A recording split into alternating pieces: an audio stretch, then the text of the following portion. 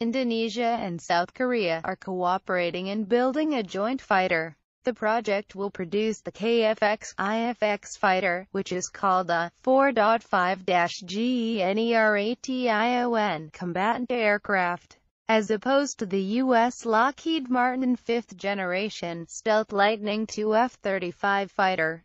The KFX-IFX fighter's abilities are designed to be more advanced than the U.S.-built Lockheed Martin F-16 Fighting Falcon jet aircraft. The KFX-IFX fighter jets will eventually be designated the F-33, with a capability slightly below the F-35. In 2010 South Korea and Indonesia agreed to cooperate in the production of KFX-IFX warplanes. The countries agreed that the initial KFX-IFX operational requirements were to develop a single-seat, twin-engine jet with stealth capabilities beyond either the Dassault Rafale or Eurofighter Typhoon, both of which British and French defense firms were promoting in Asia. They also planned for the KFX. IFX would have capabilities marginally less advanced than the F-35.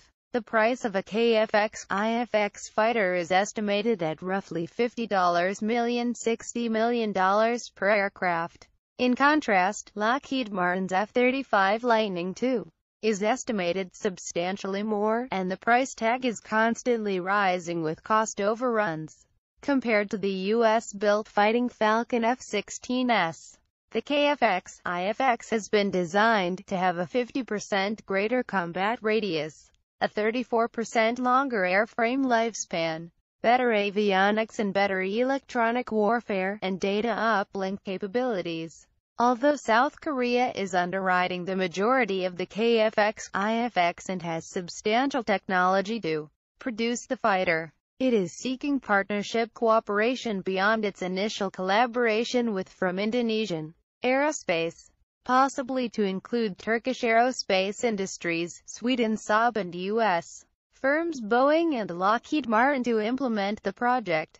In 2010 South Korea and Indonesia agreed to cooperate in the production of KFX-IFX warplanes.